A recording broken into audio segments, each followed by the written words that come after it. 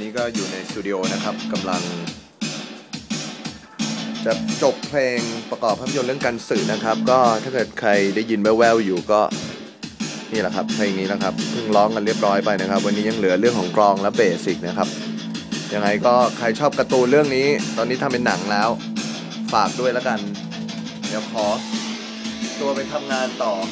ถ่ายมาให้ดูตามสัญญาแล้ว